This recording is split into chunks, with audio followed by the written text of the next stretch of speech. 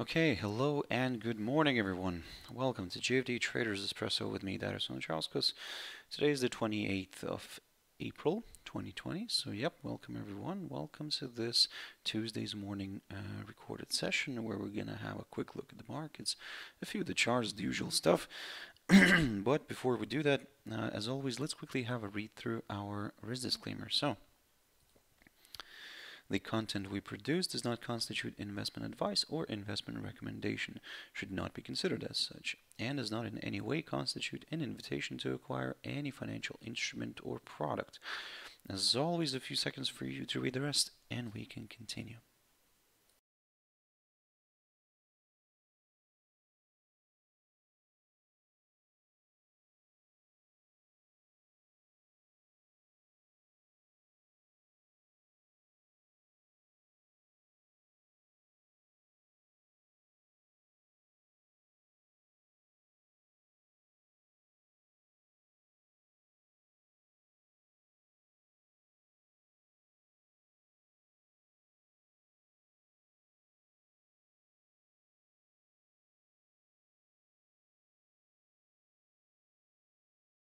Okay, so now then, uh, just before we uh, jump in into the charts, uh, as always, quick mentioning of our JFD YouTube channel, to which you can always subscribe to in order not to miss any of our upcoming videos.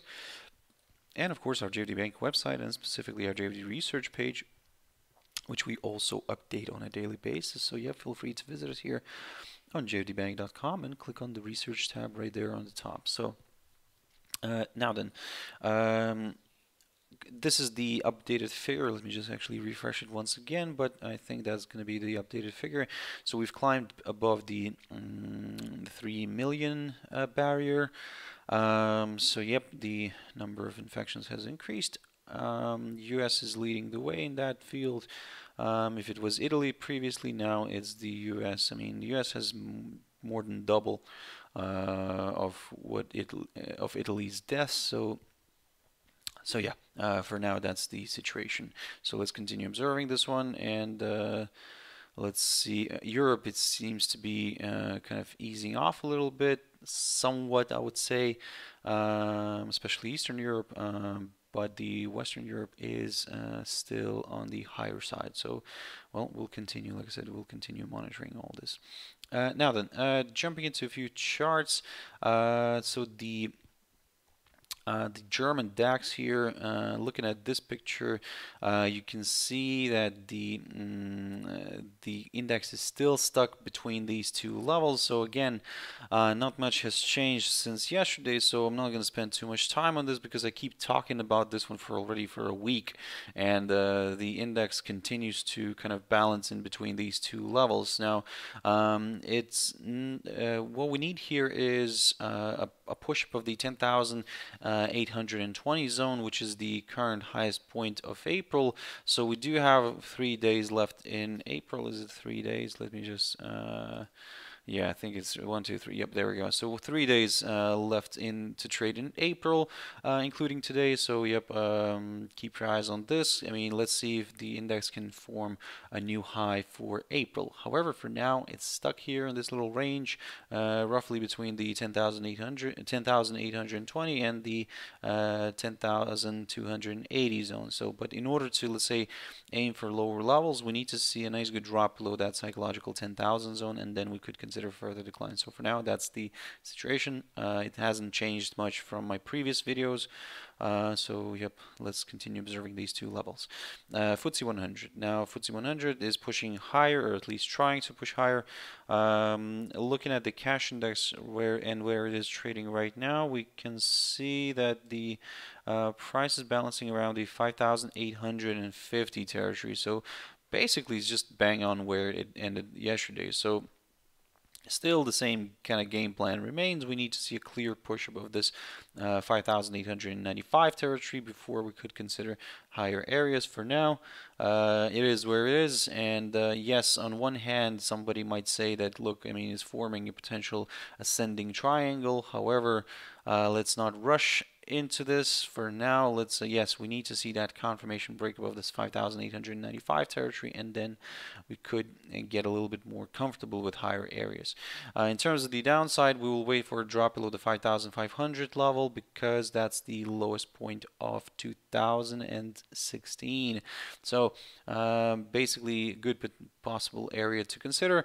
Uh, after a break of which the the index could drift lower. But for now uh, again it is trying it seems that it's trying to make its way higher. However uh, let's we need we need that confirmation break above the 5895 territory. So keep your eyes on this one uh, now then, gold. Uh, this is where it's in becoming interesting. So yesterday I talked about this one, and I was telling you guys to keep a close eye on this 170304 zone, uh, which I was saying that if it fails to provide support, uh, or should I say, if it provides support, then we could see a nice rebound and a push higher. So yesterday the uh, the commodity closed above it, so it didn't even reach uh, it didn't even reach that area. But this morning we're seeing a nice slide here to the downside. So in a way, first of all, let's get rid of this arrow.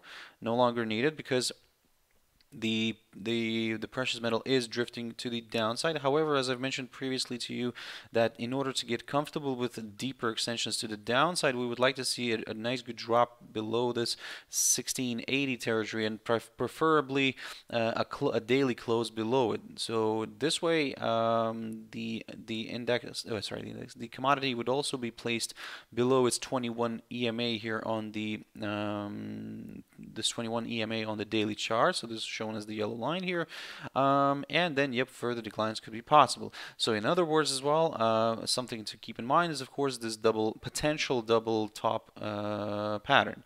Now, in order to get this confirmed, as I said, we need to see a break of this uh, so-called neckline here, so near the 1680. So for now, the uh, the, the, precious metal is drifting in that direction.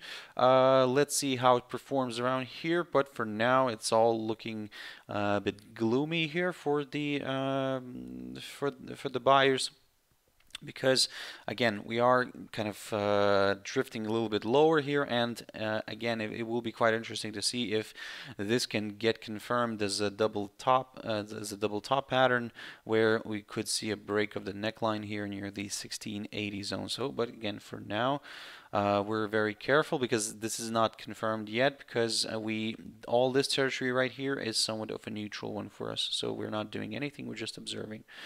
Um, in case this suddenly climbs back and above the 170304 zone um, and stays here for, for the day uh, then, well, I mean, maybe the whole uh, double top uh, idea is off the table, and we could see this one pushing maybe back up again here, especially if it climbs back above the 1723 territory, which is the the high of the 12th uh, of December 2012, and then, yep, we could see maybe higher levels. But for again, for now, yes, it is drifting lower. We are keeping a close eye on this 1680 zone. Uh, we'll see how it performs around there, but yep, we'll be very careful first. first of all, we want to see how uh, this this daily candle and where this daily candle will end.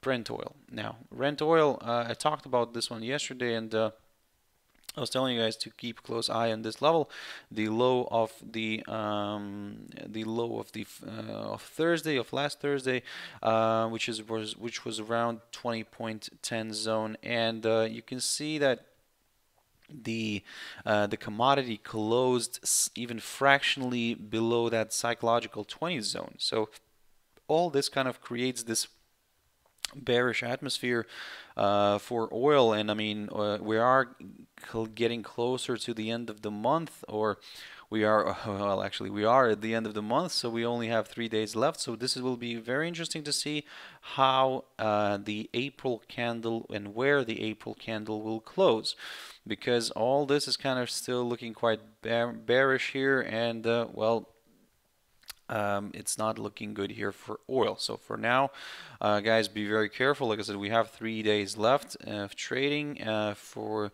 uh, for this month. So um, well, let's see how this is going to play out. For now, like I said, everything's still looking a little bit more uh, to the downside. Um, however, if by any chance this this this commodity drifts back above the this barrier here, the 21 uh, 21.64 level, which is the lowest point of March then there could be a bit more buyers to join in here and we could see this one drifting higher. However, for now that's not the case. For now it's leaning more towards the downside. Ethereum. So Ethereum is in a bit of a decline. Yesterday it kind of closed slightly fractionally in the red. Um, it is drifting a little bit lower, but uh, as you can see, this area here, which previously was seen as a good area of resistance, and the one that I was talking about a couple of days ago, the, the 189 uh, level, acted as a good area of resistance. I talked about this one on Friday, uh, on Thursday uh, where I was, sent, I was telling you guys to keep a close eye on this barrier, which got broken. As you can see, it opened the path towards higher levels. It, it we ended up testing that psychological 200 zone, so uh, everything is according to plan. What I was uh, mentioning, um, and now the crypto is drifting a little bit lower.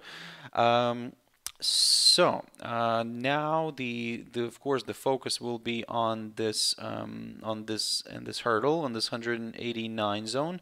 If it provides support, then we could see a nice rebound and a push higher. However, if it starts breaking, then yes, I mean there is a potential for this one to move lower.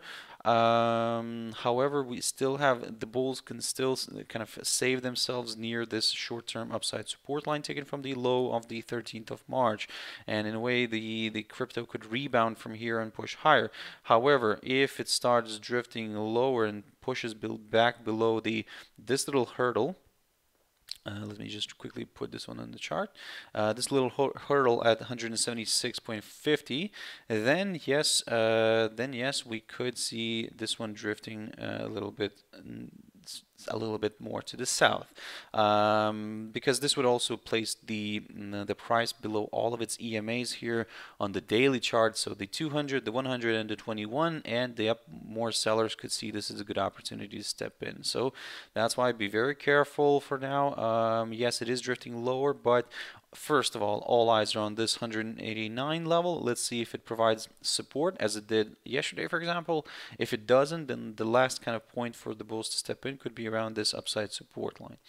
Uh, but if that breaks and the in the price falls below the 176.5 zone, then well, deeper extensions to the downside could be possible, guys. So be very careful and, and uh, yeah, be very cautious. AUD, oh sorry, USD JPY. Now quick update on this one. Not much has changed since uh, since yesterday. Uh, basically, the same rules apply. We're still waiting for a, a clear breakthrough one of the highlighted areas. Uh, yesterday, the the pair came close to uh, hitting the 106.92 zone, which is the which is currently the lowest point of April, uh, but as you can see, it failed to do so, and uh, maybe it could have an, a second attempt today. So, uh, because it's closer to this area right now, and uh, well, first of all, of course, let's see if it can make a new low for uh, for April. For now as I said, it's 106.92 zone. That's that's why for now we're gonna wait. Uh, again, there's a lot of waiting here, guys. For now, I mean, it's it's it. This is how it is. I mean, let's not rush into something and uh, let's wait for for a confirmation break because, as I said, uh, there's a lot of kind of waiting games that we're playing here, especially with the indices as well. So um, and USD JPY is kind of uh, well uh, is joining that club as well. So that's why for now, like I said, just wait guys uh, if it pushes above the 108.08 level then yes more buyers could join in here and potentially push this one to the upside so um, jumping into NZD CAD, quick update here. So yesterday I talked about this one, and I was telling you guys that um, in a way keep your eyes on this barrier here, the the uh, the kind of the high of the 31st of March, which is around the 0.8556. Um, as you can see, the pair the pair failed to move even above its 200 EMA here on the daily chart. So the two this 200 EMA uh, acted as a very good area of resistance uh, from which, as you can see, the mm, the pair sold off and drifted lower. So um, this morning it continues to move uh, to the downside. Um, well, I mean, for now we will be very careful here, and uh, of course we'll keep an eye on this little short-term upside support line. Now it's a bit of a tentative, don't get me wrong, because you can you can start drawing some other ones here, or you know, like somewhere like there. From even if you want, you can start drawing it from here and connect these two points. So whatever it's whatever you feel comfortable more with, um, you can keep this one in just in case. But um, yeah, all of them are tentative, and uh, to be honest, but what we're going to do here mainly is going to focus on some of the support levels. Now, uh, one support level that we're going to be keeping a close eye on will be this one, the 0.8381 zone, roughly around there. And that's the uh, the low of the 16th of April. And uh, if we if see a drop below this, then yes, uh, maybe lower levels could be met. This is when we will consider a possible move uh, here to the downside towards the current lowest point of um, current lowest uh, not this one uh, okay this is a little bit in the in, in the way. So the current lowest point of um, of April um, which is around 0.8268 zone. So uh, yep for now guys uh, like I said be very careful, keep your eyes on some of these levels, and uh, even with the upside, if it, if it reverses, if it, let's say, for example, rebounds from this upside support line and pushes higher, still with the upside, it's a little bit tricky because we do have this downside resistance line taken from the high of the 20, uh, of uh, the, taken from the highest point of March 2019. So Again, we are at a very interesting spot here, but if we get a break of this upside support line and a drop below the 0.8381, then yep, more uh, more sellers could see this is a good opportunity to step in. A uh, quick update on AUD and ZD. I talked about this one yesterday. We're breaking this downside line, and uh, most importantly, that we've managed to uh, break and stay and close the daily candle above this uh, downside line and above this other level that I talked about, the uh, 0. 0.6445 uh, area and as you can see yep now the rate continues to balance slightly above it. So in a way everything's kind of leaning more towards the upside. We will continue targeting higher levels for now. Uh, but of course we'll take everything with a pinch of salt. And in case this um, in case this reverses and pushes back uh, back below this below this downside line then well I mean uh, lower levels could be met uh, because if it especially if it drops back below this low here the low of the 21st of April which is around the 0.6254 mark. And uh, then because all this territory here could be a little bit of a neutral one because the in, in a way what we could see here is if let's say this somehow drops lower uh, moves below this downside line uh, more sellers could start joining in here but then it gets a hold up uh, like it did here in, uh, on the 21st of April. It gets a hold up near the 21 EM EMA here on the daily chart and then reverses and pushes higher. So basically a lot of people could get stopped out. So that's why we would prefer to see maybe a drop below this uh, below this little area right here first. Uh, not this one, but right this one right here. And uh, then consider kind of deeper extensions to the downside. For now, uh, yeah, we will will remain more bullish than bearish, um, and especially if um, especially if uh, if it continues to balance above, above this 0.6450 uh, 0.6445 territory. So keep your eyes on this one. If it climbs higher above this 100 EMA here on the daily chart, the next target to consider is around the um, the 0.6677 mark, which is marked near the lows of, or should I say, near the lowest point of August, near the lowest point of October, near the lowest point of September as well, um, and uh, near the high of the, uh, or should I say, near the highest point of March. So very good, strong area to consider. So let's keep an eye on this one.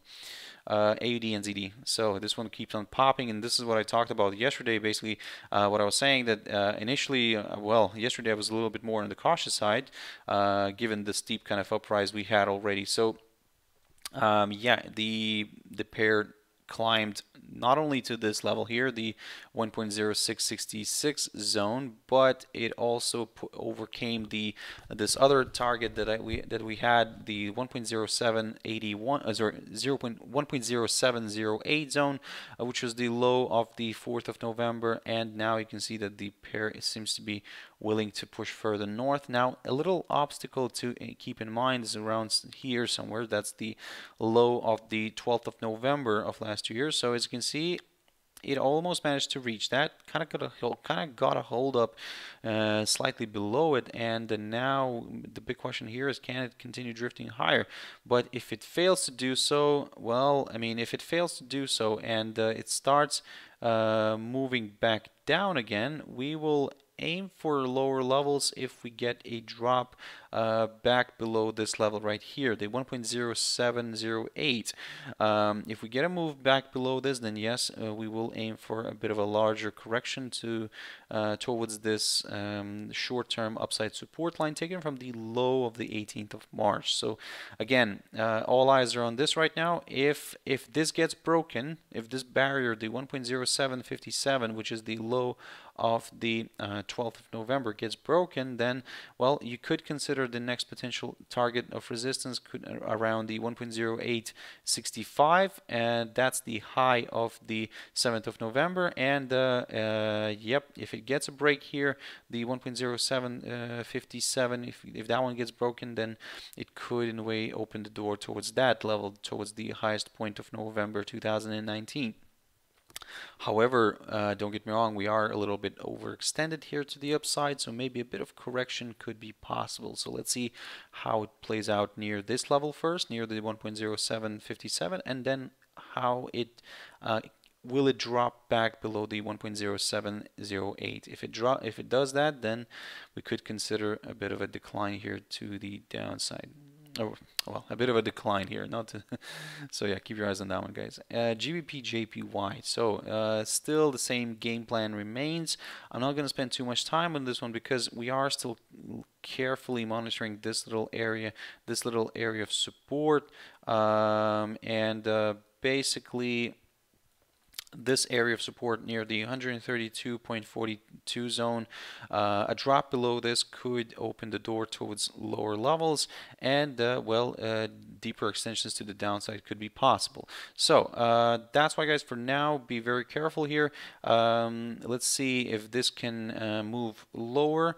If we get a drop below this then yes uh, we will aim for the downside but for now it, we are still a little bit more on the bearish side because uh, well, I mean, USD JPY uh, seems to be willing to move lower. However, also confirmation drop is required, and GBP JPY is also, uh, well, in this case, it's it is balancing below all of its EMAs, even the 21-day EMA still. So it cannot, uh, for the past few trading days, it cannot overcome this this line. So that's why we're leaning a little bit more to the downside on this one. Um, however, a confirmation break below the 132 zone is 132.44 zone is required, so keep your eyes on that one. And finally, Euro USD. Um, so yesterday the uh, the pair kind of ended trading session still below this downside line taken from the high of the 30th of March. And uh, and this is what I was talking about guys. Basically we need to see um, an exit here and, uh, and until it's trading inside uh, this little kind of triangle, uh, this descending triangle, we will still we will remain neutral. Because even for the upside, let's say we need to see first of all a break of this of this downside line of the upper side of the triangle and a push up of the 200 EMA here on the four hour chart and on the downside we need to see a drop a good uh, cl daily close below the mm, below this lowest point of February uh, which is around the 1.0777. Only then we will get comfortable with further decline. So for now, we're just waiting. So guys, I hope you found it useful and uh, thank you very much for watching and listening and I really appreciate your time. So if you want to capture my video mm, a little bit later, my trader's tea time, uh, 14, uh, sorry, 14, 13, 15 GMT time. So uh, yep, and then we'll take it from there. We'll I'll have a look at some of these instruments, some new ones, and uh, we'll see how what to expect from the um, some of those instruments. So have a wonderful trading day, guys. Stay safe, both um, health-wise and uh, market-wise. Um, and uh, yep, I'll see you later. Thank you very much, and bye-bye.